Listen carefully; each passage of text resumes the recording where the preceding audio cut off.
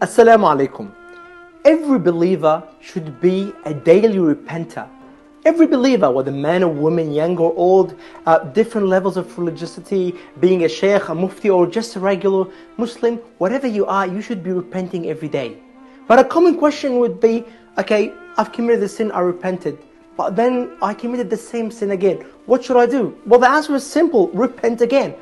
What if I sin again? Then repent again. What if I sin 10 times? What if you sin a million times? If you sin a million times, repent a million times. And despite how great that is, sometimes we find difficulty understanding this because we as humans, in general, we are selfish, we're stingy, we don't understand that there exists that type of generosity.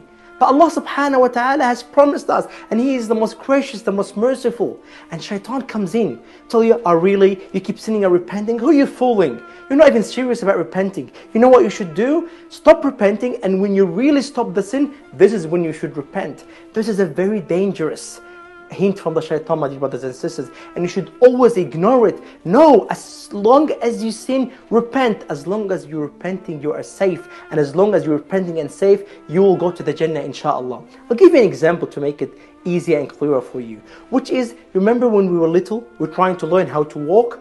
No one learns how to walk overnight. You stand up, try to walk, fall down, sometimes on your head, sometimes on your knees, sometimes on different parts of your body. But eventually, is there a child who gives up on trying to walk? No. We never stay crawling. Eventually, we'll learn how to walk. But even after that, when we are adults, we still trip, we still fall on the ground. Should I say, ah, oh, why did I learn how to walk? I should have said crawling all my life. No, you never say that. And this is the example of Tawbah.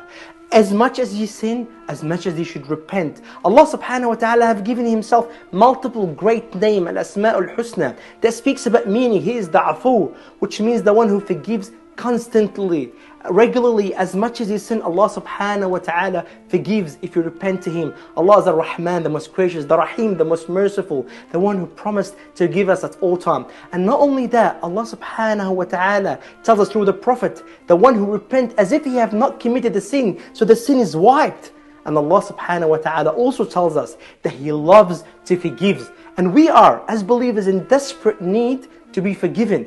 That's a great match. That's a great deal. So let's take part of it. See you tomorrow.